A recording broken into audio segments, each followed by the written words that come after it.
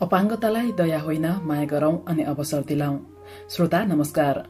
कार्यक्रम दृष्टिकोणमा म कार्यक्रम प्रस्तुता बिनु राई यहाँलाई हार्दिक स्वागत गर्दछु। कार्यक्रम दृष्टिकोण फेम नेपालको सहयोग ओखलडुङ्गामा सञ्चालित आफ्नो फेम र ललितपुर स्थित रहेको अपाङ्गता संस्था परिलक्षितको सहकार्यमा तयार पारिएको हो।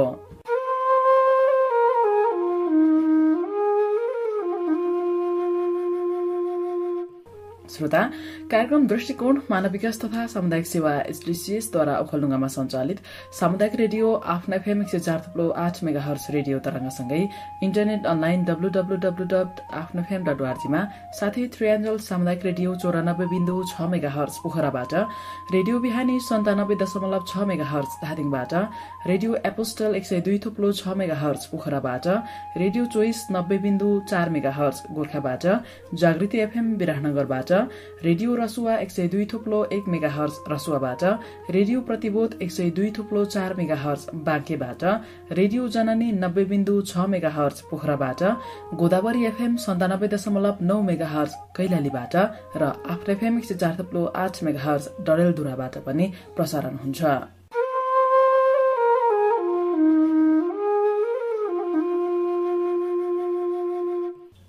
विशेष गरेर यो कार्यक्रम फरक क्षमता भएका अर्थात अपाङ्गता साथीहरूलाई प्रोत्साहन गर्न राज्यले उनीहरूको लागि के कस्तो सेवा सुविधाको व्यवस्था गरेको छ र अपाङ्गताहरूमा पनि फरक किसिमको क्षमता हुन्छ जसले आफ्नो लागि मात्र नभएर राज्यलाई नै टेवा पुर्याउन सक्छन् भन्ने अपाङ्गता र उनको परिवारलाई प्रेरणा दिने उद्देश्यले प्रसारण गरिएको हो। यस कार्यक्रममा फरक क्षमता भएका व्यक्तिहरू अपाङ्गता सम्बन्धी काम गर्ने सरकारी तथा गैर सरकारी संस्था र सरकारवालाहरूसँग गरिएको कुराकानी तथा रेडियो सामग्रीहरू समावेश गरिन्छ। श्रोता आज पनि हाम्रो समाजमा अपाङ्गतालाई फरक दृष्टिले हेर्ने मात्र होइन फरक व्यवहार गरिन्छ। हामी कतिचोटि अपाङ्गता भएका बालबालिकाले पनि सुन्न हेर्न साथै बुझ्न सक्छन् भन्ने कुरा बिर्सन्छौं। अर्थात् उनीहरूमा पनि फरक किसिमको क्षमता छ भनेर हेर्ने गर्दैनौ। तर उनीहरूमा पनि केही मन क्षमता पनि छ र उनीहरूले केही गर्न पनि सक्छन्।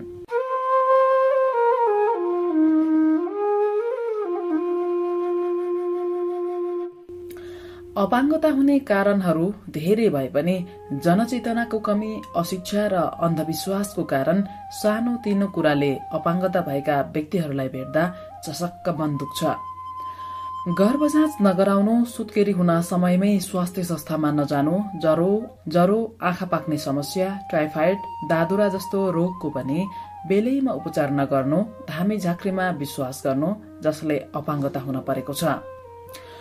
आजको बसाइमा एकजना अपाङ्गता बाबुको बारेमा गरिएको भलाकुसारी सुन्न सक्नुहुनेछ। उनको नाम वाङदा शेर्पा। सोलुखुम्बुका हुन् उनी। साढे पाँच वर्षका उनी हिडडुल गर्न सक्दैनन् बोल्न सक्दैनन्। कमजोर आर्थिक अवस्थाका परिवारमा जन्मिएका वाङदा अहिले उपचारको लागि काठमाडौँ ल्याइएको छ। हाल ललितपुर स्थित रहेको बाल मस्तिष्क पक्षघात नेपालमा उनको उपचार भइरहेको छ।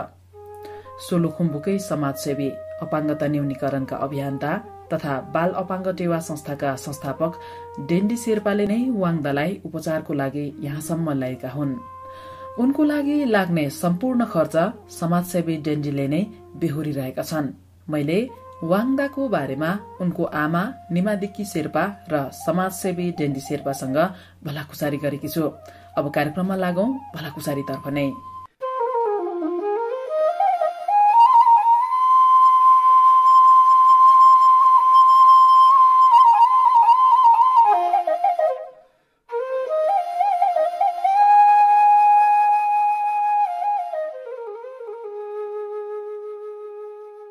मेरो नाम निमाली शेर्पा सोलुखुम्बु है टाप्चिङ कति पर्छ अहिले?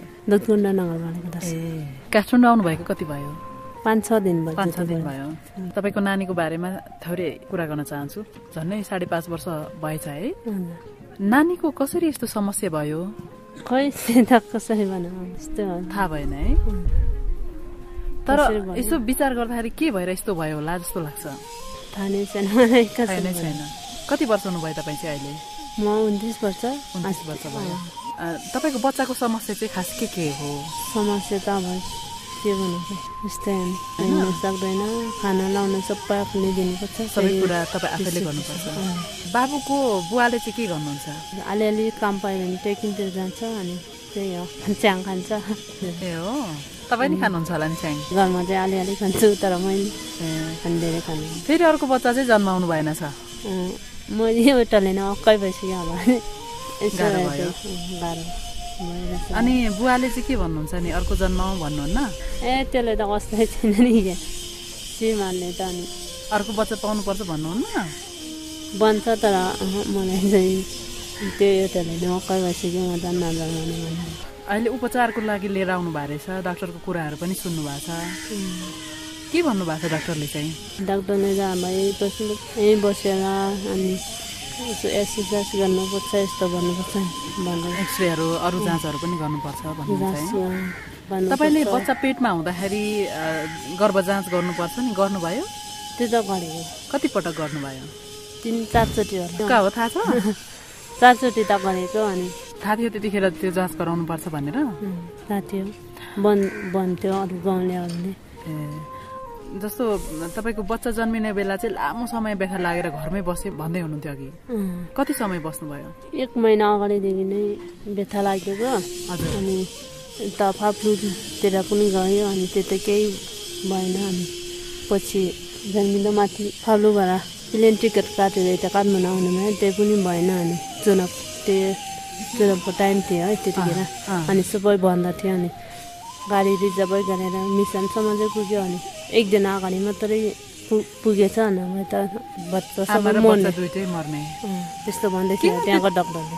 अनि किन त्यति लामो समय व्यथा लाग्दाखेरि पनि घरमै बस्नुभयो? जेठ उन्तिस गते डेट दिएको अनि चौध गतेदेखि नै त्यस्तो भएको अनि त्यही भएर। व्यथा भन्नाले पनि अलि टाउको दुख्ने अनि भमिट आउने जस्तो भन्ने अनि एक दिन दुख्दै फेरि अर्को दिन हराउने गर्छ अनि त्यही भएर। ए भनेपछि एक दिन दुख्ने फेरि अर्को दिन नदुख्ने त्यस्तो भयो। हस्पिटलतिर भयो भने औषधि नदिँदैछ अलिअलि दामीहरू केही पो लाग्यो कि भने दामीहरूलाई अलिक पुग्यो पुग्यो भने अलिक सन्चो हुने जस्तो गर्छ। त्यही हो। त्यसरी भर पर्नु भयो। दामीतिर पुग्यो अलि हल्का हुने जस्तो फेरि भोलिपल्ट त्यस्तै हुने दुख्ने। गर्छ। समयमै अस्पताल गएर बच्चा जन्माउनु भएको भए बच्चामा यस्तो समस्या हुन्न थियो कि है? त्यस्तै लाग्छ मलाई तर हाम्रो घरमा फेरि काम गर्ने मान्छे चाहिँ कोही छैन। आफू एक्लै त्यो त्यही किन गएको अलिअलि कमाइ पैसा कमाएर नै छ हाम्रो कामको लोभले गर्दाखेरि कतिपटक हाम्रो जीवनै बिग्रिन्छ है? यतिखेर भए त तपाईँले त्यो सबै काम छोडेर नि जानुहुन्थ्यो होला नि अस्पताल। अहिले हो भने त्यस्तो अब पहिला त चाहिँ अब अहिले त यत्रो सबै कुरा। छोडेर आउनु भएको छ काठमाडौँसम्म। काठमाडौँसम्म बल्ल आएको अहिले चाहिँ अनि के खेतीपाती नै गर्नुहुन्छ कि? त्यो अलिअलि गर्छौँ गाई बस्तु पाल्छौँ। अनि खर्च वर्च चाहिँ कसरी जुटाइरहनु भएको छ? ए अहिलेसम्म दाइले नै हेरिरहनु भएको छ। धेरै खर्च लाग्यो भने चाहिँ कसरी जुटाउने विचारमा हुनुहुन्छ त? खोइ अहिले मेरो कमाइ छैन कसरी गर्नु? तपाईँलाई थाहा छैन। तर डेनी दाइले चाहिँ सहयोग जुटाउनु पर्छ भन्नुभएको छ हो। सहयोग गर्दै हुनुहुन्छ। अहिलेसम्म चाहिँ हामी धेरै दिन बस्नु पऱ्यो भने के गर्छ थाहा छैन। कतिखेर चाहिँ थाहा पाउनु भयो तपाईँले बच्चालाई ठिक रहेनछ है भनेर? जन्मिँदादेखि नै जन्मिँदादेखि नै थाहा थियो? थाहा चाहिँ थियो तर पछि राम्रो हुन्छ कि भनेर घरमा राखिरहेको के भएको थियो र जन्मिँदाखेरि? जन्मिँदाखेरि नै केही नचल्ने आइस आइसीमा राखेको। अनि जन्मिने सट्टै आइसीमा राखेको। म आफू नै तिन दिनपछि होस आएको कि। ए। अनि